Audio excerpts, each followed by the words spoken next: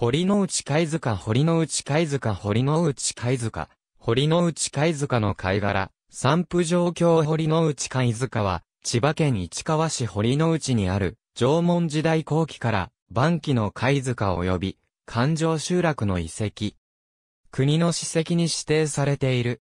縄文時代後期前用の標識土器形式である、堀之内式の標識遺跡として知られている。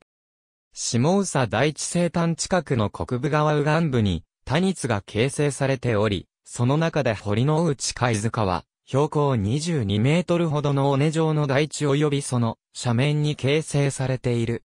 東西225メートル、南北120メートルの中央台状型のに、方向斜面に、寒水酸砂泥質のハマグリヤサリボキサゴキシジミを中心とした階層が馬蹄系の貝塚を形成している。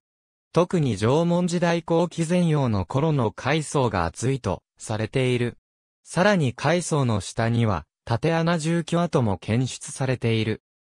東京に比較的近いこと、以前は未開発の山林であったことから早い時期から発掘調査が行われ、最初の調査は1883年に行われている。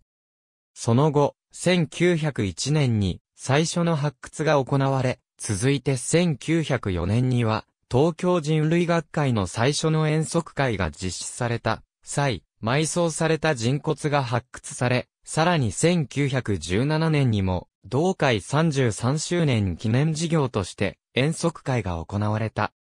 1921年の東京帝国大学による発掘調査に参加した山内清は、出土土器を研究して、これを堀之内式土器と命名し、1940年に発表した。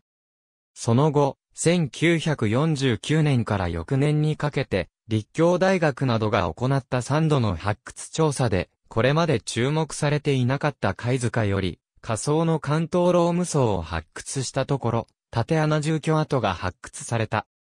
1954年には、日本人類学会70周年記念事業として、早稲田大学、慶応義塾大学、明治大学の合同発掘調査が行われて、初めて本格的な地形測量が行われた。さらに1963年の明治大学の調査で、ほぼ全容が明らかにされた。また、1960年に、堀之内貝塚の貝の性格について、日常生活において食用などに用いられた貝で、あるとする、芹沢長介と、貝塚を加工用のむきみ場と推定して、星貝などの形で、他の地域に移し出したとする、後藤和民が論争を行っている。1967年には、海藻全体が国の史跡に指定された。現在、貝塚に隣接して、市川考古博物館が建設され、乳母山貝塚など、周辺の貝塚と共に出土品が公開されている。また、その隣接地には、市川歴史博物館も開設されているが、こちらは、堀之内貝塚の約 2km 南の下宇佐、国府設置以後の歴史を取り扱っている。ありがとうございます。